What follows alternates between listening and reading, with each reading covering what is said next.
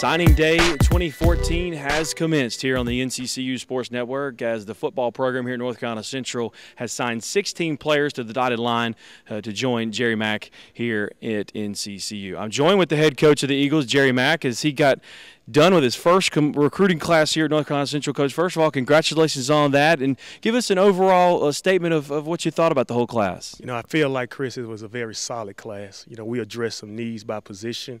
Uh, we went out there and scoured the state to try to identify the certain players that would best help our football program grow. Uh, also added some mid-year signees in there as well, and we feel like they're going to be able to give us some immediate help. You bring up uh, you bring up in state. You got 13 kids in state. 11 of those young men that came from high school, not only in this state but otherwise, played in the playoffs. So not only did you recruit in state, but you got winners everywhere else you went. You know, I said at first that one of the premium things that we wanted in this signing class were young men that are winners, young men that are high character young men as well. And I think we addressed that also. You know, I think we wanted to get out there and find those young men that were captains on their football team, obviously great football players, but also academically they could come into NCCU and do our work.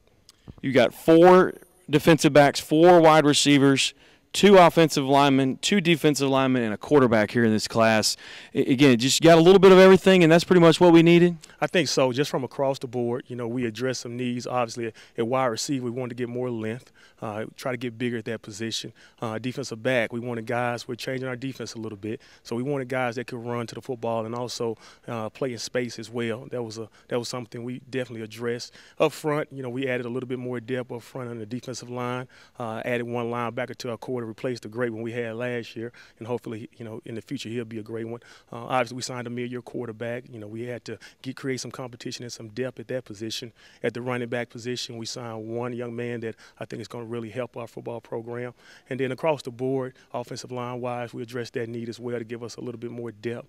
And those are the things that I think as we grow our program, we want to make sure we get quality football players as opposed to just any young man you know, coaches, you look overall at the the class and what you have. You, you, are going to head into spring ball, obviously, with some of the mid-year transfers that you got, and the cupboard's obviously not bare here. So you got to be pretty excited about being here at North Carolina Central at this point. I truly am. I think those mid-year young men that come in, they're going to class, they're doing the right thing right now. Obviously, they're going through our winter conditioning program. And anytime you can get a, a young man to come in in the spring football and help and carry it over into the fall, I think that's definitely going to help.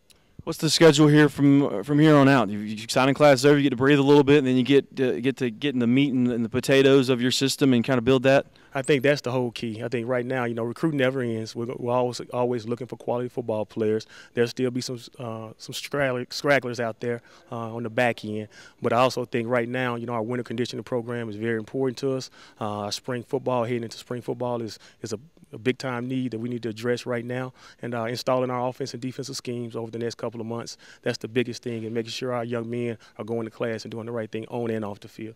All right, Coach. Well, thanks very much for your time. Congratulations on your first recruiting class, and wish you the best of luck moving forward. Thank you, Chris.